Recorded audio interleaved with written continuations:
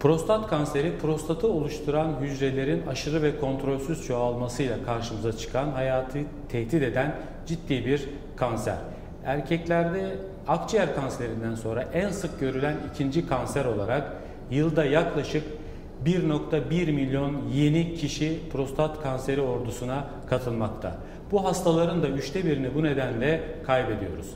Eylül ayı prostat kanseri farkındalık ayı olarak e, bizlerin de hastaları bu anlamda hatırlatacağı bazı önemli noktalar var. Prostat kanseri ülkemizde de sık görülen ancak dünyada özellikle gelişmiş ülkelerde oldukça daha yaygın halde karşımıza çıkıyor. Amerika, Kanada, Avustralya ve Yeni Zelanda ve İsveç ilk 5'teki ülkeler. Ülkemizdeki ortalama dünya ortalamasıyla eşit.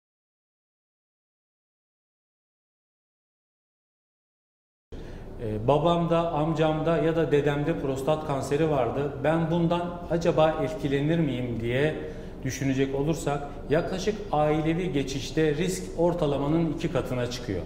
Ailevi prostat kanseri diyebilmek için 55 yaşından önce en az iki aile bireyinde benzer bir kansere yakalanmış olmak gerekiyor.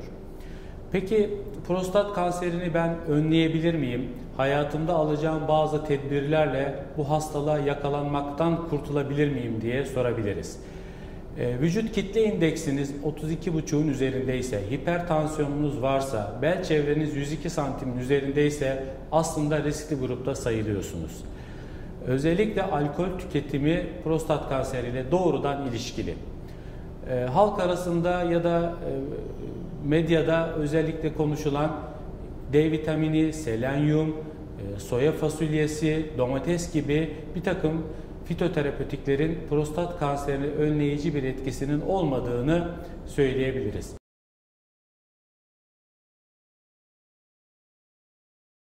Günümüz bilimsel verileri şu anda prostat kanserini önleyebilecek bir stratejinin olmadığını gösteriyor.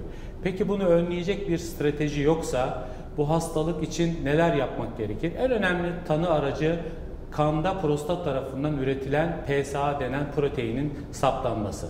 Sadece bu yeterli değil, beraberinde üroloğumuza da muayene olmanızı öneriyoruz. Çünkü muayenede PSA yükselmeden de prostat kanseri tanısı konulabiliyor. PSA testini bu kadar hayati hale getiren şey aslında kanserin hiçbir bulgu vermeden kanda PSA ile ortaya çıkabiliyor olmasından geçiyor. Dolayısıyla PSA önemli bir tarama aracı ve prostat kanseri için ideal tedavi zamanı maalesef şikayetler ya da semptomların başlamadan önceki periyottan geçiyor.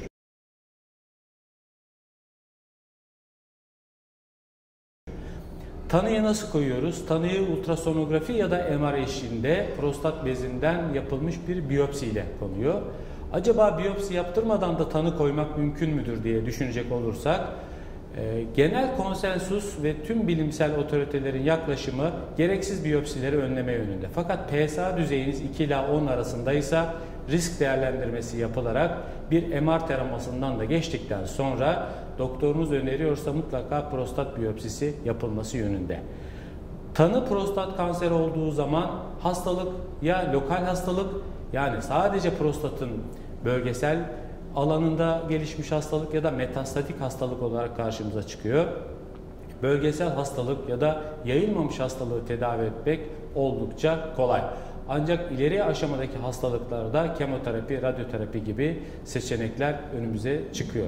Dolayısıyla her hastalıkta olduğu gibi özellikle prostat kanserinde erken tanı gerçekten hayat kurtarıyor. Dolayısıyla bir üroloğa başvurun. Eğer 50 yaşını geçtiyseniz yılda bir, ailede prostat kanseri öyküsü varsa ve risk grubundaysanız 40'lı yaşlardan itibaren yılda bir PSA kontrolünüzü yaptırmayı unutmayın. Herkese sağlıklı günler diliyorum.